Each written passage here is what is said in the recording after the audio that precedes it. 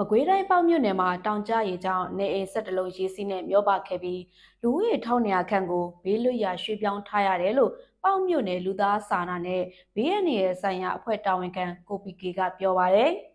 ဘင်္ဂလားပင်လယ်အော်အနောက်မြောက်ပိုင်းမှာဖြစ်ပေါ်နေတဲ့စိုက်ကလုံးမုန်တိုင်းဒါနာရဲ့အရှိန်ကြောင့်မြန်မာနိုင်ငံအလယ်ပိုင်းနဲ့ချင်းပြည်နယ်တို့မှာမိုးစတိုက်ရွာသွန်းပြီး ပေါင်မြို့နယ်ကိုဖျက်တမ်းစီစဉ်တဲ့တောင်ကျချောင်းတစ်ခုဖြစ်တဲ့ရောချောင်းရေဟာအောက်တိုဘာလ22ရက်ည7:00နာရီခန့်မှာရုတ်တရက်အရှိန်အဟုန်နဲ့စီစဉ်လာပါတယ်။ရုတ်တရက်စီစဉ်လာတဲ့တောင်ကျချောင်းရေကြောင့်ရောချောင်းပေကျေးရွာတရွာကနေအိမ်7လုံးခန့်ရေစီးနဲ့အတူမျောပါသွားပါတယ်။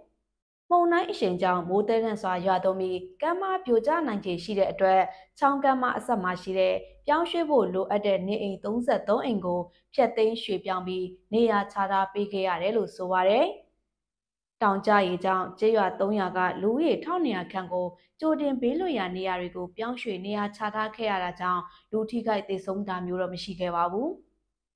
အဲ့ဒီကျေးရွာတွေဟာစုံစုရဲ့အမှတ်24ကာကွယ်ရေးပစ္စည်းစက်ရုံကဘာစာ24ကနေလက်နက်ကြီးနဲ့ရန်တမ်းပစ်ခတ်တာကိုအမြဲခံနေရတဲ့ကြေးရွာတွေဖြစ်တယ်လို့ဆိုပါတယ်။